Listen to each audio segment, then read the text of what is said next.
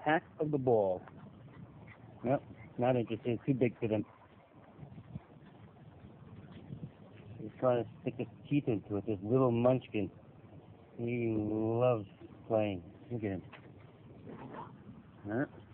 He's getting half the size, but twice the attitude. That's why I call him Napoleon. He hangs with the big boys.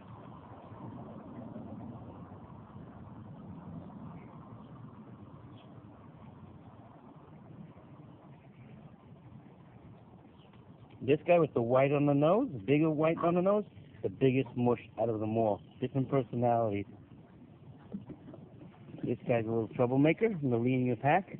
This guy's just beautiful and very athletic, the white and brown. Okay, the guy with a little bit of white on the nose, he's a little troublemaker. He instigates everybody. The one with a lot of white on the nose, this one over here, he's like a big mush. He just loves to sit on your lap and give kisses but they're all sweethearts with a little bit of twist to their personalities. Here's the little guy. Uh, she's not going to take it much longer. We'll go right after the other guy. Oh, there he goes. He's bigger than them. Told you, that's Napoleon.